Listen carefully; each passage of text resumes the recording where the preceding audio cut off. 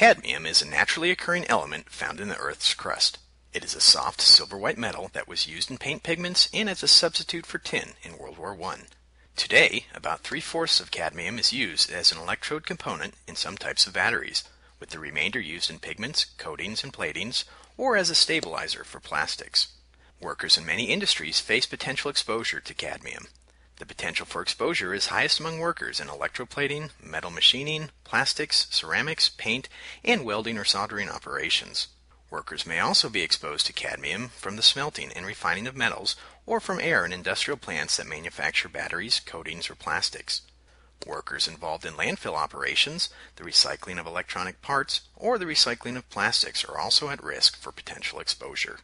Exposure to cadmium that may be dangerous to life or health can occur in jobs in which workers are exposed to cadmium dusts or fumes. Workers can also be exposed by the incidental ingestion of dust from contaminated hands, food, or cigarettes. The primary and most serious adverse health effects of long-term exposure to cadmium include kidney dysfunction, lung cancer, and prostate cancer.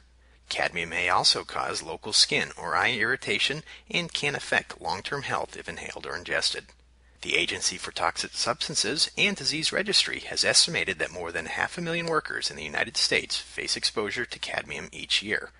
OSHA estimates put the number at 300,000. There are government standards regarding worker exposure to cadmium in the United States. To learn more about cadmium exposure risks or other health and safety, environmental, or indoor air quality issues, please visit the websites shown on the screen.